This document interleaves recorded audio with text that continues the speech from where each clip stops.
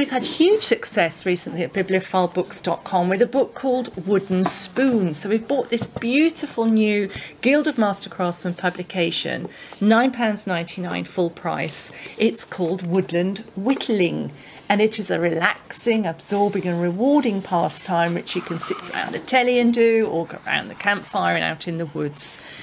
Just with you and a stick of wood look what you can make and follow the step-by-step diagrams to make these beautiful pieces like letter opener, little characters, woodfolk, a toasting fork, a thumbstick, a pendant, kushka, which was a small wooden cup, and look how the grain of wood comes out. The more you whittle, you can create these beautiful patterns.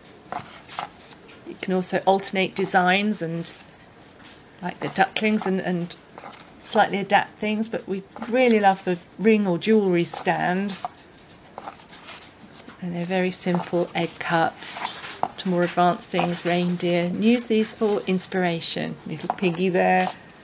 Beautiful, 144 pages. Look at that.